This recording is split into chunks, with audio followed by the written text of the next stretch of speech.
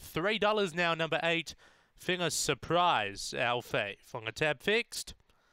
A light on, set to race. Race number two, out of Murray Bridge. Set.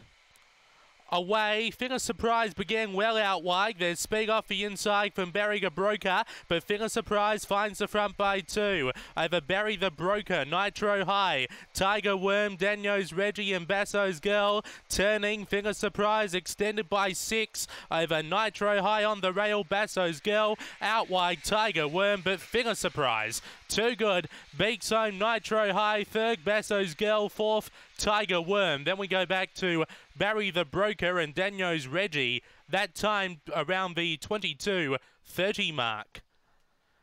It is 22.30 exactly. After race two, number eight, the Fave Finger Surprise gets up for Ryan Tugwell, wins very well as well. 22.30 that time.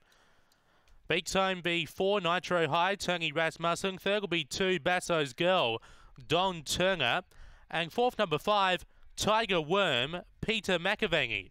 Seven and three quarters that winning margin. They went 5.26 early, 22.30 overall, 22.30, 8.425 are the numbers in the frame after race number two here today at Murray Bridge.